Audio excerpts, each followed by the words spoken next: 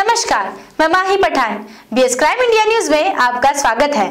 शमशेर खान की खास खबर पर एक नज़र। 15 जनवरी 2020 बुधवार को 31वें राज्य सड़क सुरक्षा सप्ताह अंतर्गत अभिजीत अशोक टोल प्लाजा, भंडारा यहाँ वाहन चालकों के लिए नेत्र जाँच और स्वास्थ्य जाँच शिविर का आयोजन किया गया था। इस शिविर को प्रादेशिक परिवहन अधिकारी भंडारा पुलिस निरीक्षक श्री चकाटे सर वाहन नियंत्रण शाखा भंडारा, वैसे ही टोल प्लाजा के सभी कर्मचारी उपस्थित थे।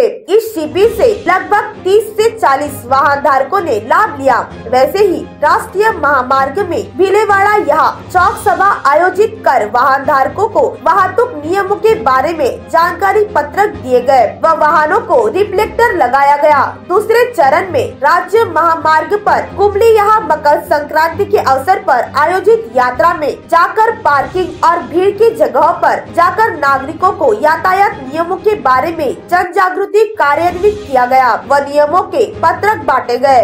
कैंप के आगे से हेलमेट परिधारण कर जाने वाले तथा सीट बेल्ट का प्रयोग कर वाहन चलाने वाले वाहन धारकों को पुष्प देकर उनका सम्मान किया गया। संपूर्ण कार्यक्रम के दरमियान यातायात के नियमों का उल्लंघन करने वाले वाहन चालक के विरुद्ध मोटर वाहन अधिनियम के अंतर्गत पचपन केसेस व बारह हज़ार छह सौ रूपयों का शुल्क लिया गया। इंटरसेप्टर वाहन द्वारा पाँच केसेस लिए गए। ऐसी जानकारी पुलिस उप निरीक्षक पांडेय महाराष्ट्र पुलिस केंद्र गड़ेगांव जिला भंडारा इन्होंने दी बीएस क्राइम इंडिया न्यूज़ की रोज़ाना खबरों के लिए YouTube channel website Facebook Twitter Instagram पर लाइक कमेंट और शेयर करें साथ ही यूट्यूब पे हमारे चैनल को सब्सक्राइब कर बेल आइकन दबाना ना भूलें और गूगल प्ले स्टोर से B S crime India news app को डाउनलोड कर रोज़ाना खबरों के लिए हमसे जुड़े रहे।